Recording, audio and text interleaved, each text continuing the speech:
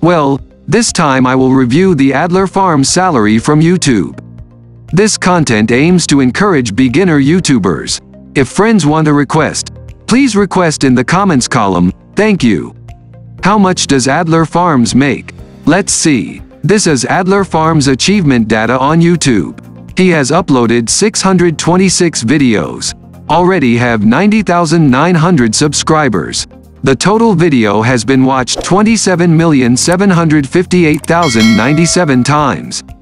The country is the United States of America. The channel type is People. And Adler Farms joined YouTube on December 29, 2019. We'll scroll down. In the last one month Adler Farms got 1,798,000 views or views. We slide far to the left. And in the past month, Adler Farm subscribers have increased by 3,200. Okay, continue calculating Adler Farm's income from YouTube. Here I will calculate the lowest to highest interpretation, every month and every year. For the last month's salary Adler Farms get $449 to $7,200. And for the last year's salary Adler Farms get $5,400 to $86,300.